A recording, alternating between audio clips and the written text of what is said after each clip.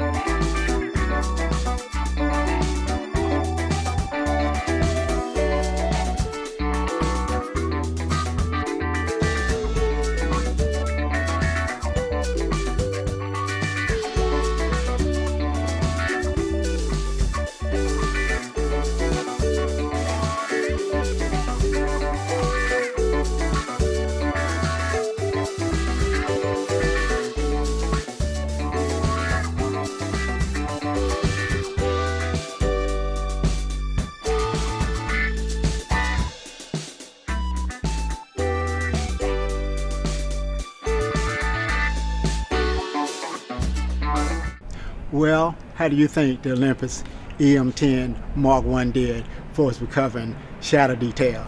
Leave your comment below. And while you're down there, hit the subscribe button and also hit the notification button so you can get all my videos. Plus, if you like what you see, hit the thumbs up button because that motivates me to go out and do more videos. Like I said before, it's fine if you don't like what you see, but just tell me why you don't like it because that will also motivate me to go out and go out and do more videos so you will like them ne next time. Because I've said it once, I've said it a hundred times. When it comes to photography, no one knows it all. And the more you learn about photography, the more you learn you didn't know. And again, I want to thank you for coming along with me on this photographic journey from my hometown. And I will see you next time.